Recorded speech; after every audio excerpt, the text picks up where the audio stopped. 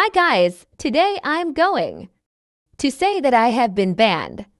In Roblox, I was playing Flee the Facility, and there were two identical looking girls in the server. One of them was the Beast, and I was captured. The other girl was there dot but didn't save me. I told her to save me, but she started dancing in front of me. The beast wasn't even after her.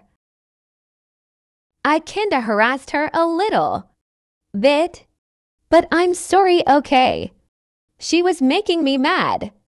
And then after I died, I reported them both and leaves the game.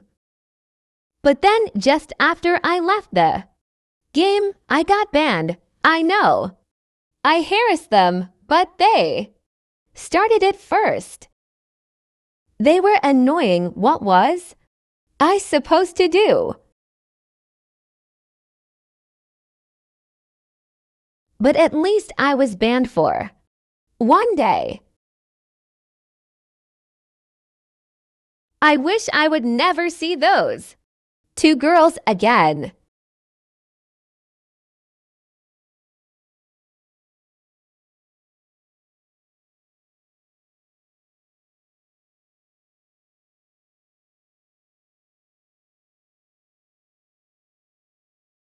Bye.